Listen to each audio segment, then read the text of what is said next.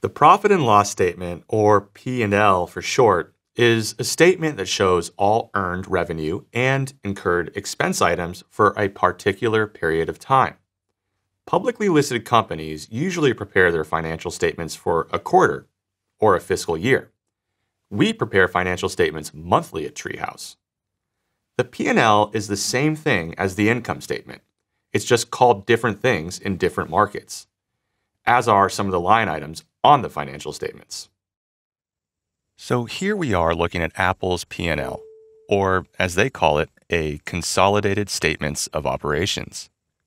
Typically, when you're looking at a P&L, you'll see the revenue section at the top. Sometimes P&Ls will show sales or turnover instead of revenue. They're basically the same thing. Some industries favor certain terms over others. So revenue is the first line item you see on a P&L.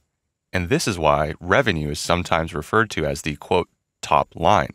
Metrics related to revenue may be called quote, top line metrics. Revenue represents the amount of money you have earned from your activities during this period.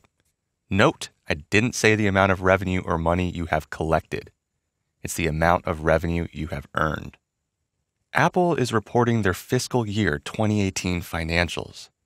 At the top of the columns on the right, we can see that Apple's fiscal year ends in September, or at the end of what is typically Q3 in the calendar year. A company doesn't have to have the reporting schedule on the same cycle as the calendar year. There's some articles providing further information on that in the teacher's notes. Back to the P&L. You can see that Apple reports a figure known as net sales. Net sales is different than gross sales. The difference can again vary by company, but usually the difference has to do with refunds, discounts, returns, and breakage. So, net is after some item has been subtracted, and gross is before that happens. Maybe this is personally relatable. Your gross income is your income before any taxes have been withheld. Net income is after those taxes have been removed.